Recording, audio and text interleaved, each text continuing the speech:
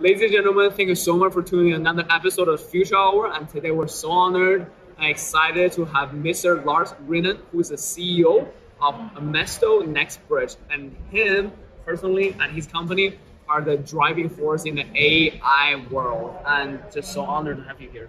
Thanks. It's a great honor to be here. Thank you so much for being here. So, would you mind tell us a little bit how did you get into the AI space? Well, um, I have been working with you know getting insight from data all my career. But it started with small data, uh, simple data, data from databases, uh, and then it kind of just evolved into what we used to call big data, and what is now called you know AI. Uh, so uh, we've been doing artificial intelligence for the last six years, ordinary data for 30 years. Wow. and tell us a little bit about what you are building and who you are building it for. Yeah, so um, my company is a consultancy. It's a, like a boutique consultancy, only 40 people, but you know, half of them have a PhD in some quantitative field, uh, so they're really good at machine learning. And uh, our, our, primary uh, segments are actually the enterprise segment. So we're working with the, you know, the largest enterprises, like large oil companies, banks, insurance companies, but we're also working with the smallest companies, startups. So we have an AI lab which helps AI-based startups succeed. And then we take, you know, uh, a small part of their equity as, you know, yeah. uh, instead of money. Yeah, it's, yeah. yeah, it's, it's sweat equity. Yeah. yeah. So the biggest and the smallest. Absolutely. I think it's very exciting that before we're doing the podcast, we're talking about the future and how passionate you are about AI and other technologies that are shaping our future. Would you mind begin share something with us about what is something that you believe about AI and the future that maybe majority people would disagree with you on? That's a good question. and so let me just start by saying that you know I, I firmly believe that the future can be fantastic it doesn't have to be, but it can be, and it's up to us. You know, yes. we need to decide that. We need to make the good choices. Yes. We need to elect the good politicians.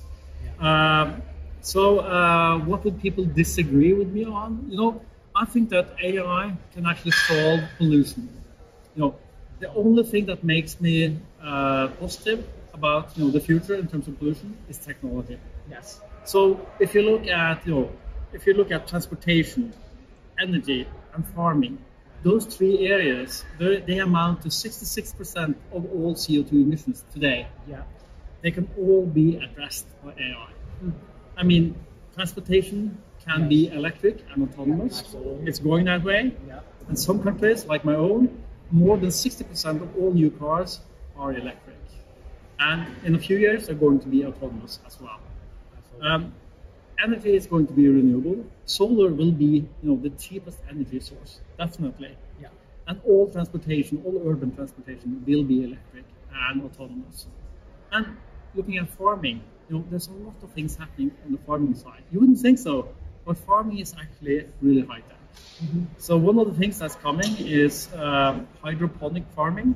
Mm. So that means that you're doing farming indoors. Right. You're using 99% less soil, 90% less water, no pesticides because it's not indoors. Yeah. So temperature, water, energy, everything is controlled by AI. Yeah, monitored and so that they can twist like from the data and make decisions right exactly, there. Exactly. And this this actually makes you know um, hydroponic farming is 300 times more efficient than ordinary farming. So right now they're reaping you know uh, like a price premium on yeah. that. Yeah. Going forward, this is going to be a commodity and then prices are going to fall dramatically. Yes. So, and, and it's also you know solving the climate crisis because uh, ordinary farming is really inefficient. You use a lot of tools, and of course uh, you have also farting cows emitting CO2 emissions Absolutely. front yeah. and back. So that that's not good either. So actually, I think that AI can solve at least a large part of the pollution problem. And wouldn't that be fantastic? I think so. I think yeah, so, I think so too. because I saw this documentary from Netflix saying that if we don't take action or do something about uh, the CO2 emission that we have are doing right now, I think maybe in 20 or 30 years, it would be a luxury even for our kids in the future generation to even go for a walk and enjoy the sun and the air that we Exactly. are taking things for granted now, right? exactly. Which is taking a step back. I think there's a perfect alignment here with what Amesto NextBridge is doing and also a podcast called The Future Hour is that we are a group of people, and I'm sure that there are many, many other people out there in the world that believe that throughout history that human being has been making good and important decisions over and over again. And when those decisions are being done, the destiny of humanity actually change or shifts, and most of the time for the better. That's Mhm. why we have what we have today, the civilization and the Absolutely. things that we have accomplished, the harmony, the international trade, the technology, the blockchain, the AI. So, and I believe that we have such similar belief here, that similar interest that we share that a group of dedicated individuals who are so confident and positive about the future can really change the world for the better. With the help of technology. Absolutely. You know, I'm, I'm so confident that AI and exponential technology will change uh, the world for the better, you know, and in a lot of ways. I mean, we, we could also talk about medicine or disease. I mean, why do we have disease? Maybe disease can be a thing of the past, you know, but then we have to, I mean, today, if you look at healthcare, it's not healthcare, you know, to, to be honest, it's sick care, you know, it, it's reactive sick care. We need to move to proactive healthcare. And we can do that, you know, by not taking pills, but using sensors to monitor our health. You know, Absolutely. I mean, you probably have a smartwatch. A lot of the Yeah. audience probably have Yeah. smartwatches, smart gadgets. These gadgets are getting smarter and smarter. They're measuring more and more. So it's they're measuring blood pressure. They're measuring insulin levels. They're measuring a lot of things. You know, and you have sensors to go in your underwear. You have sensors to go Yeah. on your clothes. Yes. Sensors to go on your skin and these sensors are now going under your skin, you know, into uh, under your skin, under in your arms, in your fingers. You know, I have four friends who have a, a chip right here, Ah, and they're measuring a lot Right. of data. Right. Yeah, yeah, yeah. So you need, and then the sensors will tell you you're doing it right or you're doing it wrong, but it will be proactively. So making you do the right choices. You know, I probably shouldn't have had that beer that I had 30 minutes ago. if I had the sensor, it would say, Yeah. well, you should have water instead because Yeah. you are a bit uh, dehydrated. Yeah, yeah. And that makes all the difference. And actually, going into the future, not, not a distant future, but you know, like 2029, you will also begin to see nanobots yes. injected into your bloodstream, you know, keeping you safe, you know, keeping viruses at bay, even fighting cancer, you know, keeping congestion out of your blood vessels. And that's fantastic. And people don't know about this. I mean, nanobots are just, you know, very tiny robots. Yes, One nanometer. Yeah. Absolutely. So, so, so, so. Way tinier than this. So what? How? How? Yeah. So how long is a nanometer? You know, a nanometer Yeah. is the length that the nail of your finger Yeah. grows Yeah. in one second. Ah. So think about that one. In one second. That Wow. is small. Absolutely, absolutely So, tiny. yeah. Tiny. So this will be an injection. It will be as ordinary as taking a vaccine. And of course, people don't know what the vaccines uh, contain either. Yeah. So, but this will keep you healthy. It's it's fantastic. Yes. And if you get the choice, you want to be have the injection and be healthy, or do you want, do you want to say no to the injection and maybe be sick, or maybe have cancer? I mean, it's a it's a really easy choice. Absolutely. So it's not fantastic, you know. Yeah. At- Already, Yes. already at this, you know, at this level today, Yeah. nanobots have actually cured cancer in pigs. You know, Wow. still at the experimental level, you know, still at the research level. But you know, give it six, seven, eight more years, and this will be fantastic. Absolutely. Absolutely. So I think this is a perfect time to pivot in conversation a little bit. Would you mind share with us and especially the audience out there that maybe some of those has been a little bit skeptical about AI, about how they might shift the world that they are used to. Would you mind share with us a few key points for them to eliminate those doubts or be a little bit more open-minded about, let's say, the data, the privacy, and things along those lines? Yeah. No, I I think there's a there's a lot of fright out there, you know, uh, concerning new technology, AI, and all that. And of course, Hollywood is partly to blame. You know, with movies like The Matrix and Absolutely. Terminator and all that. right? Yeah. You know, but this is this is Hollywood. You know, Yeah. we are nowhere near that. In my view, we're not going to get there either, because you know it isn't the algorithms that decide; it's us, the human beings, that decide. At least for now. Yeah. And we need to make the right choices now, Absolutely. going forward. So people are also afraid about you know robots or AI taking their job. And yes, uh, robots and algorithms will do a lot of jobs and a lot of tasks going forward. But that means that you don't have to do them. No. I mean, I have a robot lawnmower. Mm-hmm. I don't have to do the lawn mowing anymore. That's Absolutely. fantastic. You know, I have a robot vacuum cleaner. Mm-hmm. That's great. I don't have to do the vacuuming anymore. Yeah, You know, yeah. It's a good thing. Mm-hmm. And I mean, if you're a if you're a bus driver, there will be autonomous buses. You don't have to do that job anymore. Absolutely. No, it's actually a good thing. Yes. But of course, you do need income. Everyone needs income. You, know, you need food, you need uh, housing, you need everything. So that will probably be solved by universal basic income, Absolutely.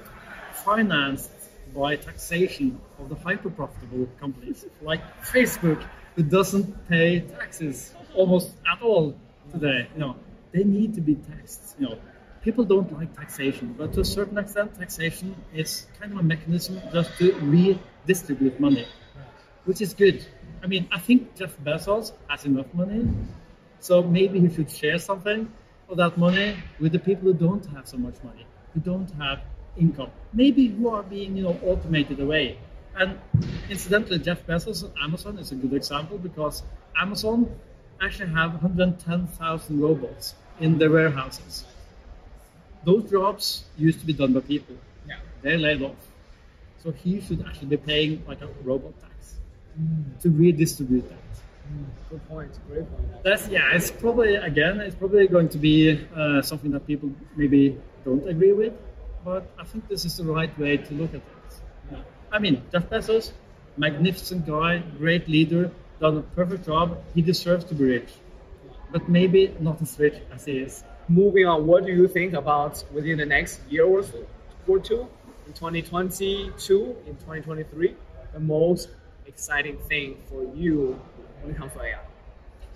Well, you know, I, I like to look even further ahead to 2029. Uh, but you know, uh, but the reason for that is that you know then you'll have a lot of change. You know, then you can see and you can do all the uh, you know the necessary choices and uh, funding and allocations and all that. But of course, if you look at what's coming in 2029, this will also tell you what's coming next year and the year after. But it's really hard to say if it's coming next year or in 2024. You know, that that you know that depends on the adoption of you know the audience and the consumers. But you know, I think that one of the areas uh, where people don't know that AI is really really good is in uh, in understanding text. So I mean, we have seen that AI is fantastic in you know understanding pictures. I mean, you, you can go on Instagram and have like a filter. That's really advanced machine learning, Right. but made you know uh, for a silly game. Yeah. When it comes to text, uh, AI hasn't been that good. But the last, let's say, like 18 months, it has been improving dramatically. And it's going to improve also going forward. So, my company has actually been doing a project with the International Red Cross, looking Wow. at uh, all the uh, free text reports coming in due to COVID.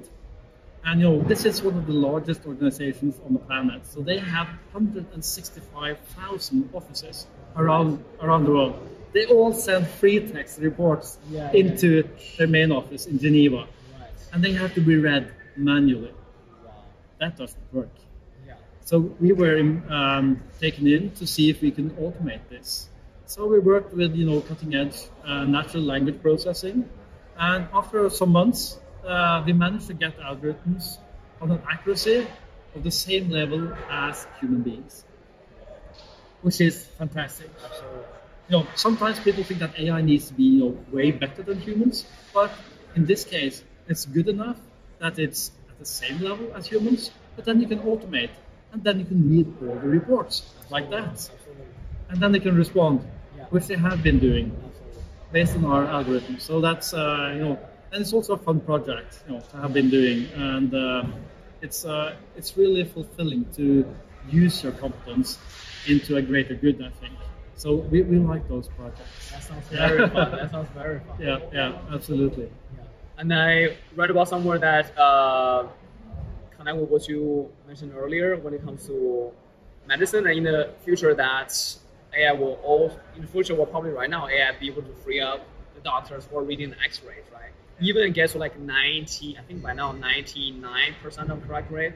Even so, even for the AI just to mark those one percent when it's not sure, even doctor can free up 99% of his or her time and only look at those one percent that are very, very special, if you will, right? Yeah.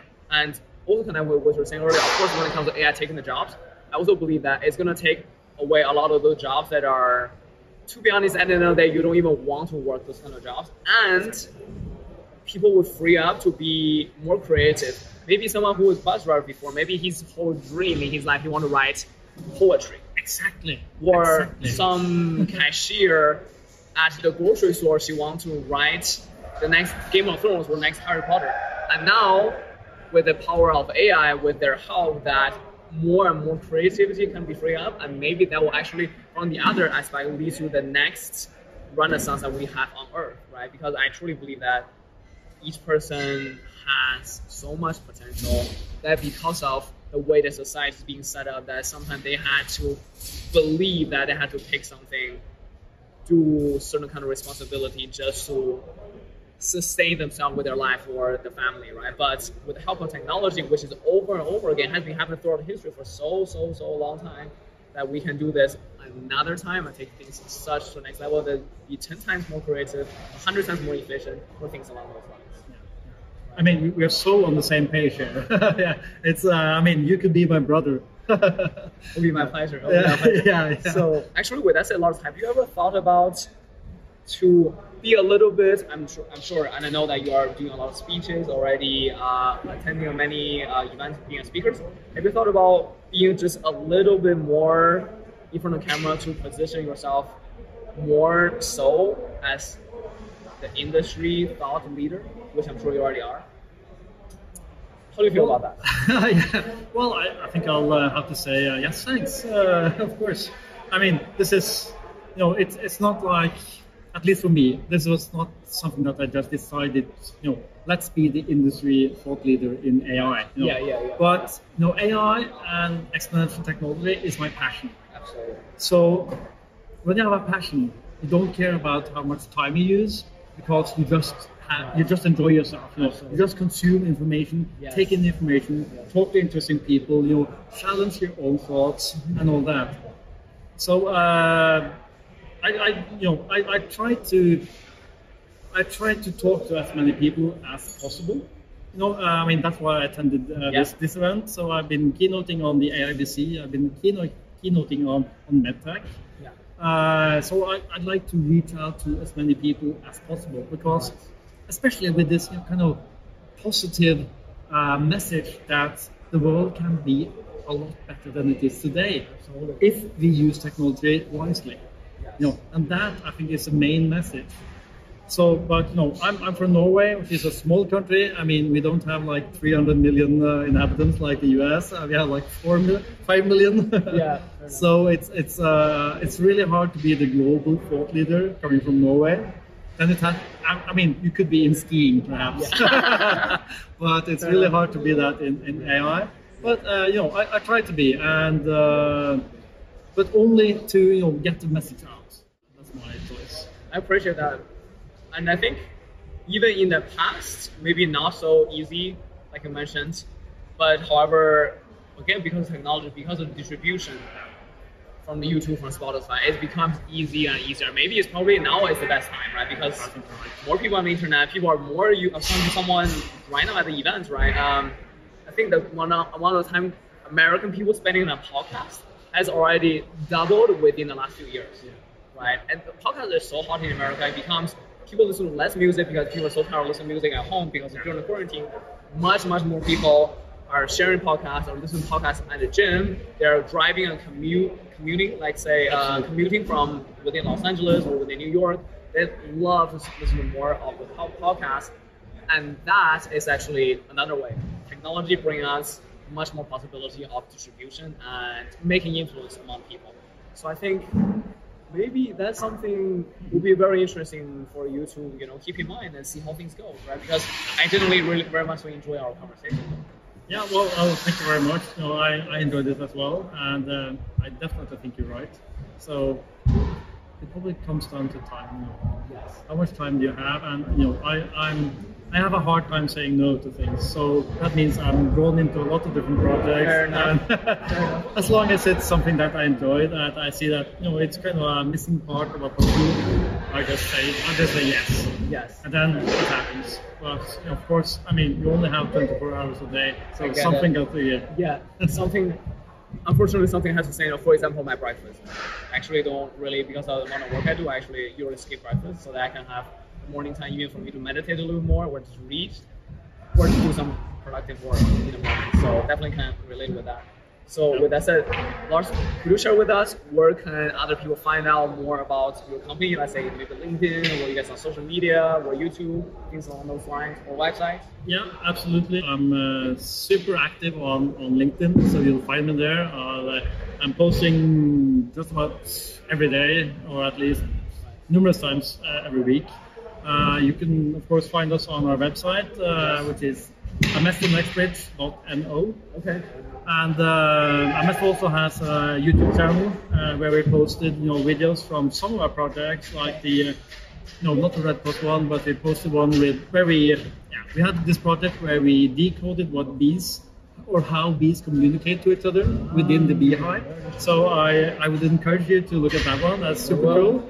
And the other one is a case where we uh, make synthetic cancer data so that it can actually be shared without sharing any personal information, which is yeah again super interesting. So uh, you'll find those and, and more videos on on our YouTube channel. Amazing.